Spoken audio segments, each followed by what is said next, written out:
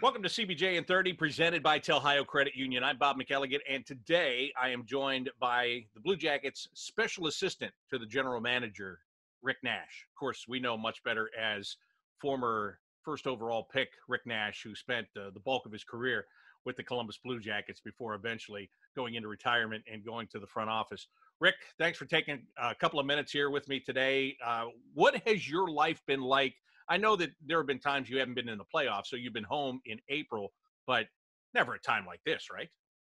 No, this has been uh, this has been different. This is actually uh, a vacation right now for for me to be able to talk to you, another adult, for uh, for a little while. Um, so we have three kids under five, so it's been uh, it's been nonstop chasing them around and trying to get some homeschooling in. Um, you know, just trying to keep them busy all day, and, and it's tough with uh, with not much. Uh, you know, you're not much. Uh, you can't do much and go outside and uh, you know to different parks and different uh, playgrounds. So it's, it's been a it's been a grind. How are your teaching skills? How are you coming along as a uh, at home teacher? You know, I've always had a I've always had a great respect for teachers. Um, you know, I, I've always looked up to them. I actually thought I wanted to be one at, at one point. Uh, you know, phys ed teacher, and I've always loved geography. Um, that's changed now. That's definitely changed. Um, I have a totally new respect for uh, for teachers, and you know, especially with mine being so young, it's it's it's a lot of basics that we're trying to teach them, but at the same point, it's it's tough. And um, you know, I'm really thankful to be in a city like uh, Columbus and have all these great teachers around us and these great schools that uh, our kids can benefit from. I would imagine because your kids are so young, you're probably looking forward to the weather getting warm and staying warmer so you can at least get out from inside the walls of the house and get outside and do something with them there. Yeah, we had a little uh, tease of it. It seemed um, last week, you know, and we, we were outside in the driveway playing hockey and on our bikes and and those type things. Um, you know, most of the playgrounds are obviously shut, uh, so we can't go to those. But uh, yeah, even with this cold weather, I think it was snowing yesterday for a bit, so that makes it even tougher to kind of be in the house. But uh, you know, at the same time, as as challenging as this is, I really am trying to bring all the positives out of this. I can't remember a, a time where, or you know, even moving forward, that I would get to spend this much time with uh, with my kids and um, you know and, and not be forced to do it but have to do it and, and it's it's truly been a blessing how much do you enjoy rick nash the dad as opposed to rick nash the big time celebrity nhl and world class hockey player yeah that's that's nice of you to say um, all those things but uh, you know it, it's fun to be a dad you know it, it's definitely my my greatest achievement beyond anything that I've accomplished over um, over my hockey career. The, the the the best part is being a dad. Um, and you know, it's it's funny when w- with my kids, they don't know me as as a hockey player. They just know me as as their dad. So it's kind of interesting. And I've told this story many a times, but uh, you know, when I go watch my son do hockey practice or hockey lessons, and parents come up to me and, and ask why I'm not on the ice teaching them, and you know, I, I always have the same answer. I say because he doesn't listen to me, yeah. no matter what. I'm, I'm his dad. So you know, as he gets older, I'm sure he'll understand a bit more, and I'll teach him a bit more. But uh, you know, for now, I'm I'm just I'm just a dad to him, and I love that. How weird is it to go to the chiller and be on the other side of that glass and and watching those kids and and watching them get instructed? Mm. And uh, is it easy to separate yourself? And I know there are a lot of great a lot of great dads and a lot of great coaches out there that are giving their time to make these kids better. Um, but what is the perspective like being on the other side, watching, listening, and uh, not being involved like you were for so many years? Yeah, it is. It's it's definitely different going to the chillers and um, you know not getting geared up or putting on my stuff for a summer skate or whatever it might be. Um, but it, it's fun to kind of sit back and see how much hockey has grown in this uh, in this city and in this community and as i'm sure you've seen too from from your time here how much you know the chillers ice times are full from you know early in the morning till late at night and for me to watch my son develop um, with these with these hockey coaches that we have who are great it's nice for me to kind of sit back and just kind of watch and, and see what they do and learn from a development point on how they've been teaching around here. I'm sure I would have some comments here and there as he gets older. But right now, for me, I, I just want him to have fun. I want him to love hockey, and you know, if he doesn't, then no big deal. We'll move on to the on to the next thing. Now, when I arrived here, it was the fall of 2009. So my son started playing hockey. Uh, both my sons were playing the first year that we got here. But all the years that I've been going to the chillers, I've seen a lot of number 61s in those chillers. And, and a lot of kids, a lot of teams wearing number 61s. Now, I don't know if you see many more of those. It's been it's been a while since you played here, and and now that you're retired, I don't know if that's going to drop off at all. But do you still see your number out there from time to time?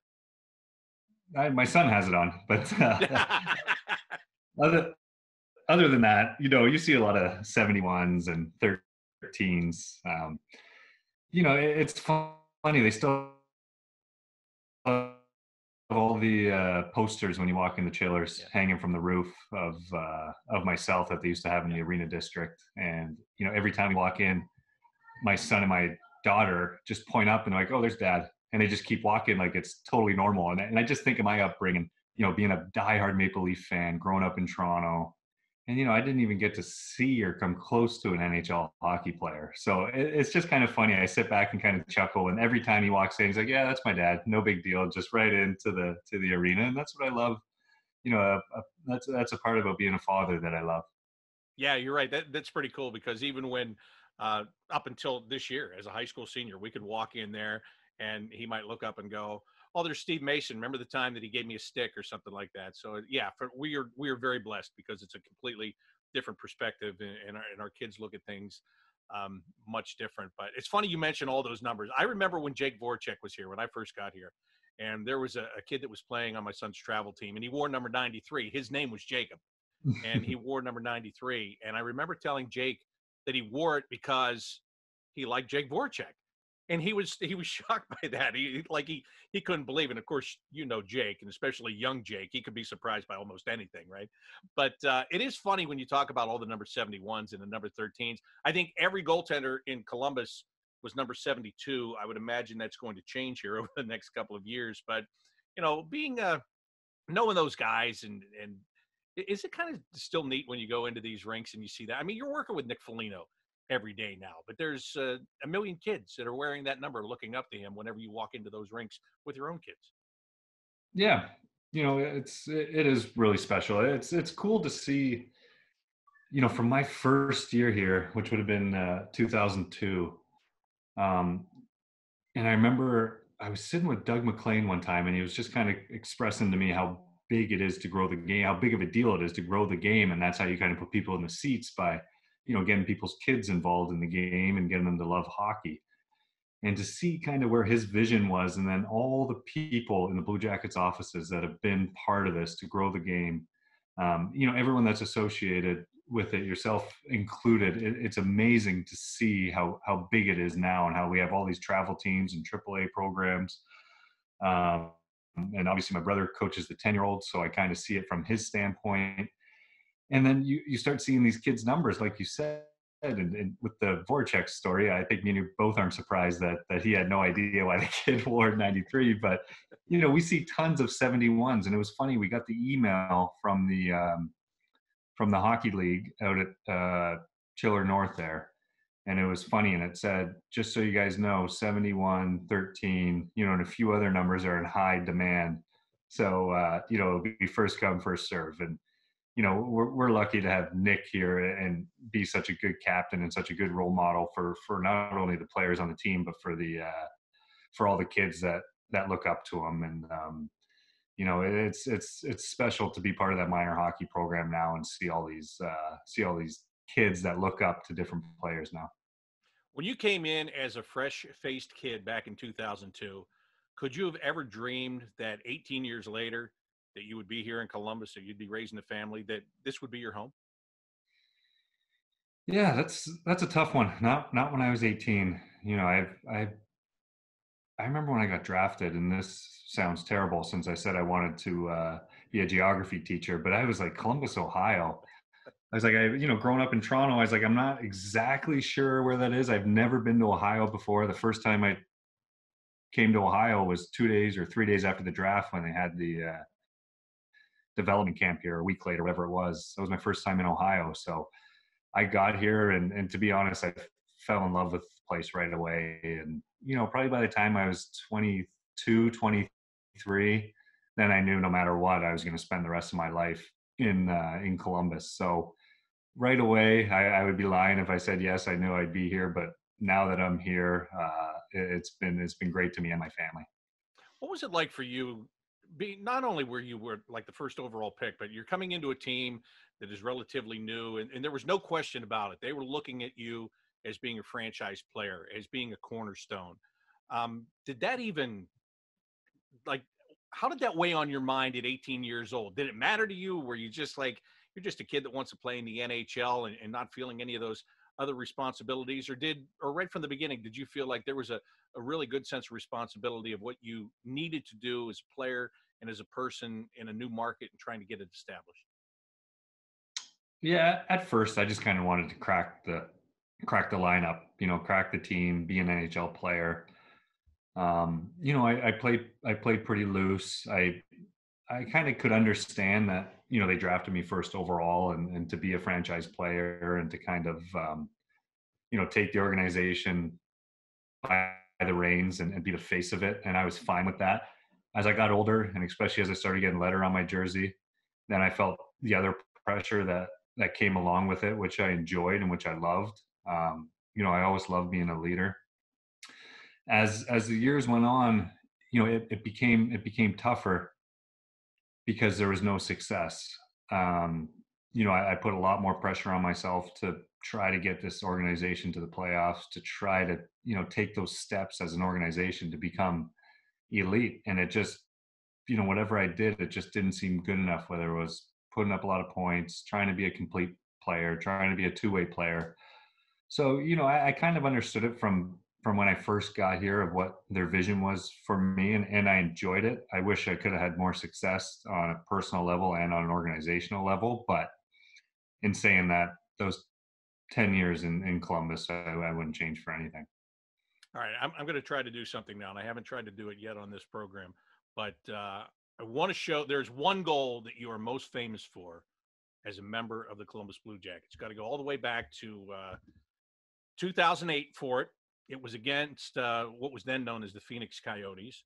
And uh, let me see if I can get this started here. And how much do you remember every bit about this goal and how you scored it? Yeah, I mean the biggest memory of me is I took a penalty. We were up three two, and I took a penalty and they scored. Um, so I remember being back out there in thirty some odd seconds and just feeling like I had to get something done. And you know, it was funny when I pulled that first move on the uh, defenseman. I couldn't believe he bit for it. He bit on it, and I said, "There's no way the second defenseman's going to bite on it too," and he did as well. So it was it was amazing. It was one of those goals where everything had to go right and it kind of became like uh, like you said the most famous goal of my career I, I, remember you know the next day doing tons of interviews for it and it was up um, you know for sports play of the year at the ESPYs it was it was pretty cool how about the poke check by the goalie and the fact that the puck still comes back and finds your stick i mean you, you talk about the defenseman making them disappear but the goalie thought he had the play made and all of a sudden he didn't yeah you know what's funny about that bob is uh, the next day i did an interview and the guy said, he goes, well, that was a lucky goal. He goes, because the goalie got you on a poke check and it hit your shin pad and bounced down. And I'm like, really? Like, really? You're going to say it's a lucky goal? And he goes, well, yeah, it would have been way better if the goal, if the goalie missed, if you deked his, his poke check and you just slid it in the net. And I'm like, I, I just left it alone. I said, yeah, you know what? You're probably right. It, it was lucky. And, you know, as I said early on, a lot of things had to go right for that goal to go in.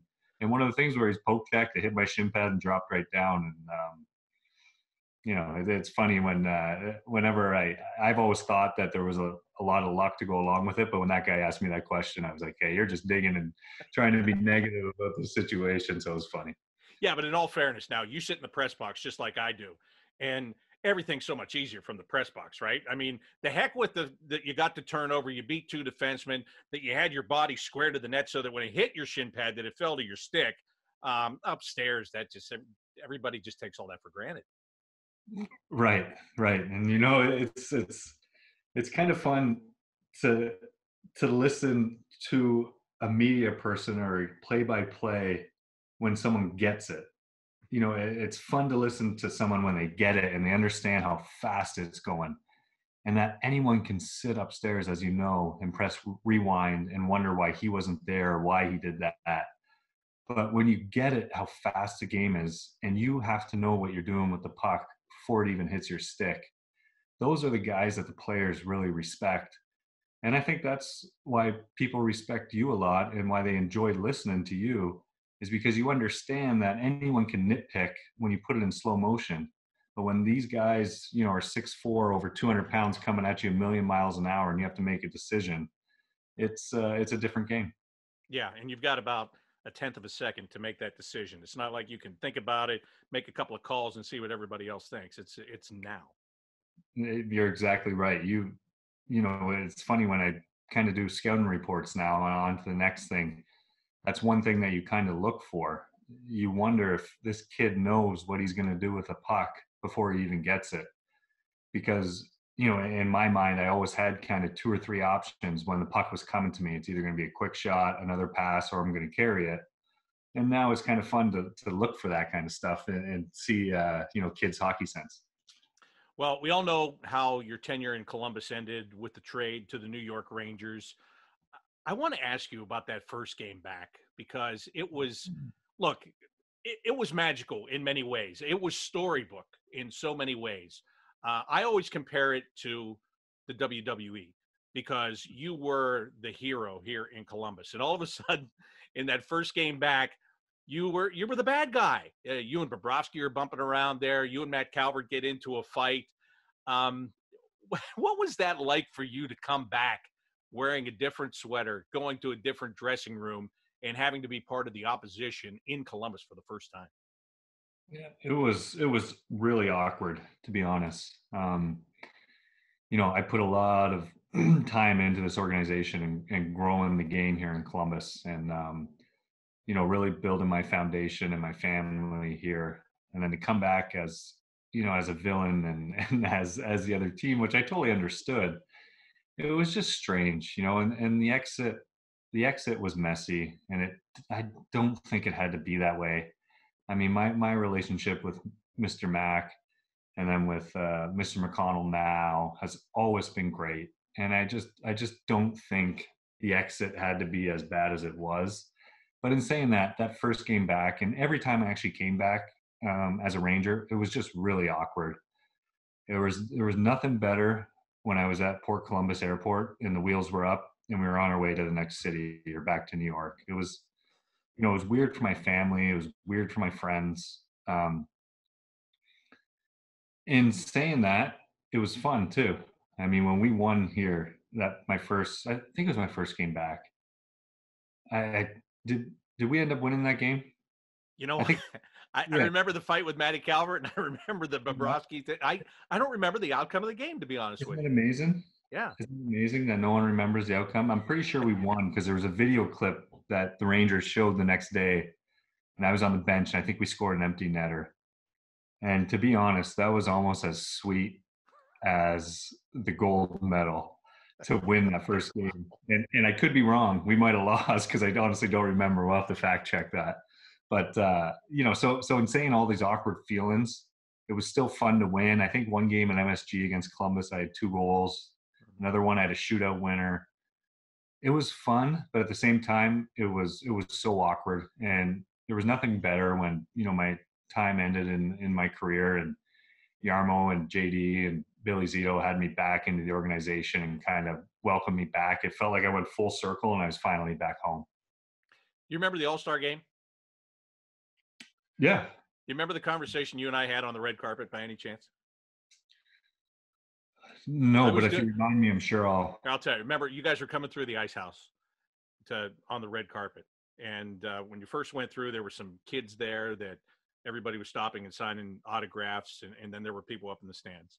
So whenever I introduced a guy while he was signing those autographs for the the kids that were selected to be in that area, uh, the next guy had to wait. So when you were when you were up I said to you, I, well, first I said, "How you doing?" And then I said, "You know, I'm certain you're going to finish your career here someday." And you mm-hmm. go, and you kind of laughed and you said, "You think so?" And I go, "Oh no, I'm sure of it. There's no doubt in my mind you're going to come back and you're going to finish here." But until then, you have to hear this from the New York Rangers, Rick Nash. And they all mm-hmm. started booing. And you looked at me and you go, thanks, Bobby. but, but, it was the funniest thing to me. And, and it, when you talk about the full circle thing, I think about that all the time because, look, I thought you were going to come back and play here again. It didn't work out. Uh, you know, health wise, you couldn't do it. But here you are back again, as you said, back in the organization. And this time, really, um, it's you're not playing. So this time it could be for good. You're in the front office. Um, you're helping to make some decisions here. It's a different role, but yet I'm sure it still feels like home for you. Yeah, it does, and I'm I'm thankful, you know, for the McConnells and you know from from Mike Priest to Jarmo to to all the guys in management for allowing me to be part of it. Um, I truly feel like a Blue Jacket through and through. I feel like this is kind of where I developed as a player and became an NHL full timer. So it's it's nice to be back full circle and back in the management side. Um, yeah, I mean, I had all intentions of finishing my career here, um, and in saying that, if if I finished as a Ranger, I, am sure I would always end up back in Columbus. Maybe not in this position. Who who knows? But at the end of the day, you know, New York was great. It was an original six, uh, great organization, great people, but Columbus was always home. Now you played for Torts in New York, and now you're back with Torts here in Columbus. What was it like for you as a player? I mean, here you are, a star player going into Madison Square Garden to play for one of the guys that is perceived to be one of the toughest coaches in the NHL. What's your relationship like with John Tortorella? Yeah, from from my side, it's great. You know, I I went in there and you know you see all the stories, you see all the press conferences, um, you know what's funny about Torts is he was one coach that was always honest with me. You know, I've, I've had a few that have been great coaches, but Torts was always honest. He always knew where you stood. There's no guessing. You know, if, if he needed more from you, he'd call you into his office and say he needs more. If if if you were playing well, he probably would just leave you alone and, and let you play. Another thing was that's that's interesting that I always kind of um, it's funny because I explained it to the management group now with uh, Jarmo and, and Bill and Josh and Clarky and Basil that I've never had a coach that can feel the momentum of the game the way Torts can.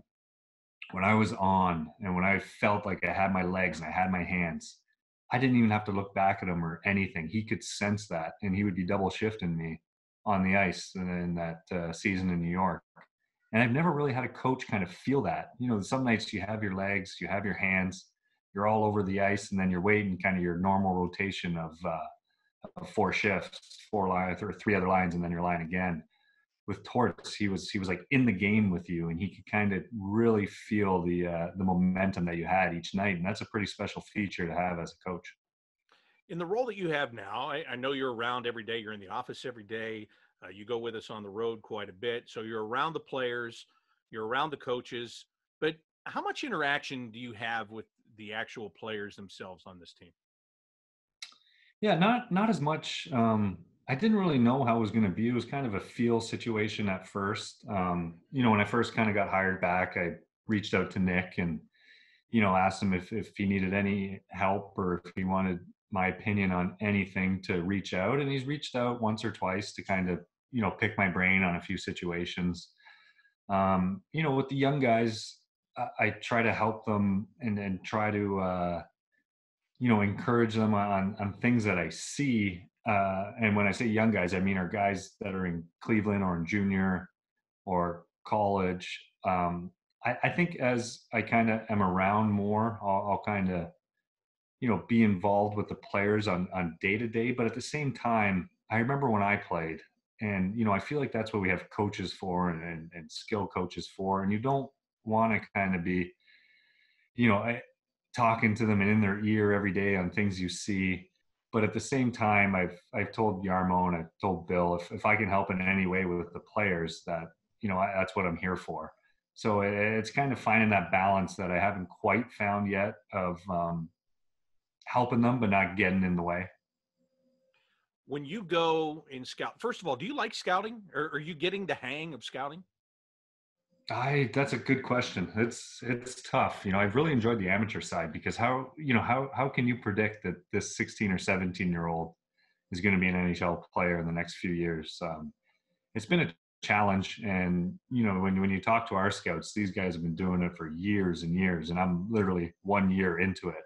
So if you say, "Am I getting the hang of it?" I don't think I can say yes just yet, um, but I am enjoying it, and you know it's it's fun when you're a player you know, after the game that night or the next day, you know, we always kind of watched our shifts. And it was draining. So then you watch your shifts, you're at the rink all day watching video, and then you get home and, you know, you put on a hockey game or whatever it might be. So you get kind of fried. But with this, it's it's been fun. It's kind of brought my passion back for uh, for for watching hockey and, and kind of learning all these guys, uh, all these young guys that are coming up uh, in in our system and in other team systems. Yeah, it's like on the plane. I'm always watching you guys. The coaches, of course, right after the game are rewatching the game on the way home, or they're watching clips from if you're going to play back to back, they're watching the team that you're going to play the very next night. Uh, you know, you guys are, are, watching video. I'm watching Netflix, so uh, I think I get the best deal there. Yes, that's why I love Netflix too. But um, you know, it's it's funny. That's the one thing that's a grind as a coach is that you know you're you're watching video a lot. You're watching your games. You're watching the teams that are upcoming. You're watching the special teams. Um, you know, for us, especially with this downtime, we've been watching a lot of games on, uh, you know, on different uh, draft picks, on uh, you know, different players that we have in our system that are overseas. So it's been uh, it's fun. It's been fun to watch watch that that kind of hockey. When you're talking to uh, either the guys in Cleveland that are in the American Hockey League that are looking to climb that ladder and get to the top, uh, whether you're going into the junior ranks and, and, seeing some of the amateur guys. You know, we talked before about uh, even you here in Columbus going to the rink, but when you're talking to some of these young prospects, are any of these guys a little bit starry eyed because they're getting advice and they're getting to consult and talk with Rick Nash? Yeah, well, I don't, I don't look at it that way. I look at just, um, you know, use me as a stepping stone to your dream um, I'm lucky enough that I got to live my dream and I got to play at a high level for a lot of years. And you know, when when you go see a kid and and when I went and saw Foudy in, in London and I see him after the game and you know they're they're always so polite or polite and you know I give them my two cents and it's it's always pretty positive and I try to relay you know what Chris Clark's messages are you know we're we're we're like a team our management team so we all kind of are on the same page so you know, I, I don't think they get starstruck. I couldn't answer that. I I know for me, when I you know got to meet some guys, I definitely was. So maybe maybe they are, but I can't know, wait to ask Liam Foudy yeah, after after it's all said and done. After he's no longer a London Knight in a blue jacket like next year, I can't wait to ask him what he thought about getting advice from you, a former London Knight who mm-hmm. was also an NHL All Star and a gold medalist. Yeah, you know what? I, I he didn't seem like it, but that's a great question for him. And maybe he's a great sales guy. Yeah, and as I said, I, I just want to be a, a tool for these guys to uh, to use, and you know, I'm going to give them my opinion, but I want them to feel comfortable enough to uh, to ask me whatever they need to get to that next level. One thing I do want to ask you is because I have my own theories and, and I talk about them a lot, but you'll have a better answer for me on this of all the major sports, it seems to me that hockey is the one where star players like you stay involved in the game. Uh, there are so many great players. I mean, Steve Yzerman's a general manager. Ron Francis is a general manager. And those are just two examples. But, you know, in baseball, you don't necessarily see a guy that was uh, an all star 10 times coming back and managing a team or being a general manager. Uh, the same is true in football. They're they're really not they're not the former star players. What makes hockey so special that guys like you want to stay in the game even after the playing days are over?